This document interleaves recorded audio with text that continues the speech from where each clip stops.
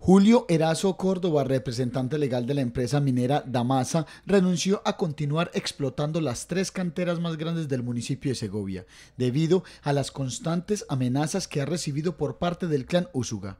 Significa que 1.600 personas del sector se quedan sin empleo. No tengo la información de que Gran Colombia haya definido eh, salir de, del municipio, esto lo hablaremos con ellos mañana, en la comunicación que he tenido el día de hoy no me lo han expresado, están revisando alternativas jurídicas. Las autoridades manejan varias versiones frente a la situación. Una de ellas tiene que ver con que al parecer el clan Usuga quiere quedarse con la explotación minera y la otra es que no están pagando vacunas. Lo cierto es que se prevé una problemática social compleja. Los refuerzos de la policía suman 220 hombres, del ejército hay adicional al esquema normal en Segovia 80 hombres más, entre ellos un grupo especial, unas fuerzas urbanas especiales del ejército que se han trasladado a partir de ayer al municipio y están reforzando la seguridad, un esquema de protección en las vías y en las minas directamente. La policía, el ejército y la fiscalía esperan judicializar pronto los posibles responsables de las muertes y extorsiones en la zona,